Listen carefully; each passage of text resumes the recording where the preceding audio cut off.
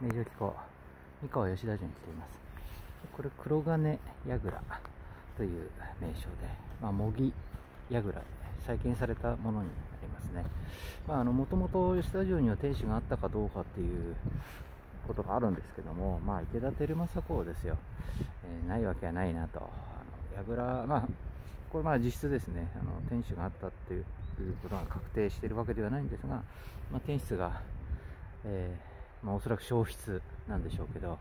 それ以降ですね、いわゆる大王天守として使われてた櫓になりますよね。天守大王櫓とはよく言ってますけども、まあ、日本のお城の中にはね、あのー、こう山荘の櫓、まあ、これは模擬なんですけど、3層以上の櫓というのは、江戸時代はあのなかなか建てられなかったと。まあ、あの著名な大大名のお城は別ですけど、あの新たに新造、新建築するとなると、まあ、幕府の許可を下ろさなかったんですよね。まあ、ちょっと一部例外もありますけども、まあ、そんな中でですね、えー、残った3層以上の櫓は、まあ、装飾をつけて、例えば、装飾というか、あのシャチですね。ちょっとここは金シャチじゃないんですけど、ああいった装飾を周りに、まあ、施してというかつけて、えそれで天守代用としたと。まあ、弘前城なんかは代用する天守がたくさんありますよね。櫓が、3層以上の櫓があんなにあると。しかもあそこ、戸様藩で、えー、5万石、まあ、後に10万石とか、そのぐらいの大名で、まあ、ちょっとあそこのお城の話すると長くなるんで、ちょっと津軽藩はちょっと特別なものがあったと思いますけど、まあ、一般的なあの不大大名系のお城であればですね、えー、3層ぐらいのものを天守と、えー、呼んで代用していたというのは、まあ、全国にいくつもあります。まあ、実際3層以上で、まあ、天守代用ではっきりしているのが17条って言われてますけど、まあ、21とも言われてますかね。あのまあ、これはっていうのは確かにあるんですけど、まあ、こう現在のものを見ると、まあ、模擬でここに建てられたものとか復元または復興、まあ、絵図なんかがない場合で想定で、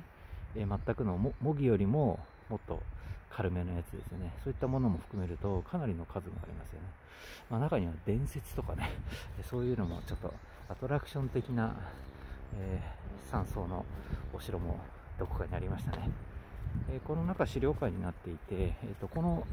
土台の石垣ですね。あのさっき川の方からも映してたんですけど、えこの石垣がどうやら池田輝政公の時代のものだということが判明したという、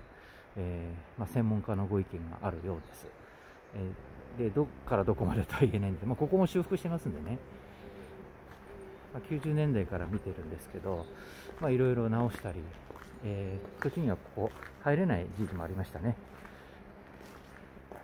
大体日曜日やってる時が多いんですけど、最近はどうですかね。スタンプラリーとかね、まあ、五条院なんていうのも流行ってますからね。五条院の販売もここでしてるみたいですね。あ、三の丸会館の方行かないんですね。ちょっとね、あの、利用については事前に確認問い合わせをしておいた方がいいと思います。やっぱりこう重厚なね、鉄櫓って書きますからね。まさかもっとゴツゴツした感じなのかなと思いきや、そうでもないです。木造ですね。鉄板、福山城みたいなね、鉄板張ってるような、そんな感じじゃないです。まあ要するに鉄門って黒金門とかね、他のお城でも話ありますけど、